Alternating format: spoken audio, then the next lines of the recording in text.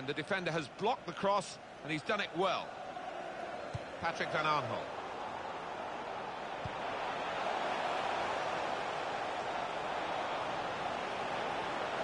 Got to be. And it's a goal! Well, this team just won't lie down, will they? Thought they were down and out, two behind, but back on level terms.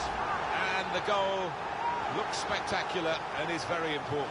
Yeah, there was some power crossbar's still shaking. And here's the goal again.